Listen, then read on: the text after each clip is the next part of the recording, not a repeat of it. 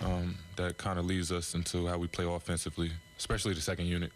Um, first unit, um, we obviously have Kev, James, and um, Blake down there, but second unit, we kind of flow a little different. Um, we more so move off of touches, um, post up LA a lot, and just more so get in the paint and make the right play. So overall, like I said, I think we're still learning. We're still not at, not at our peak, but tonight was definitely a good night for, for the bench.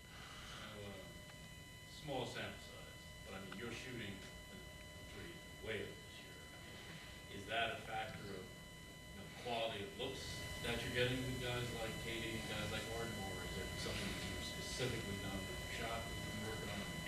Yeah, I definitely um, kind of switched up, kind of switched up my shot a little bit. Um, worked on it a lot more, but um, more so, like you said, mechanics. Um, did a little bit of switch of how I shoot the how I shoot the ball, and uh, yeah, it's, it's, it's been working so far. I'm just shooting with confidence as well, and also having that much space it helps out too.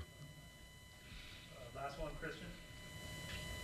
Hey, what's up, DeAndre? Um, you you've played with all stars before, and you played with Trae. You played with a lot of different guys, and I think a lot of times people forget LaMarcus is a seven-time NBA All Star. Does he kind of have that All Star confidence when you're out there with him, and just being able to be getting his buckets whenever he kind of wants to out there?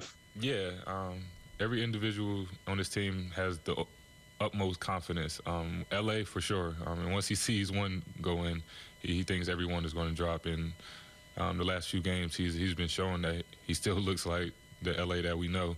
And um, yeah, I mean, he's super talented. He's super confident. And I mean, I, I don't know if I've seen someone shoot the ball as well as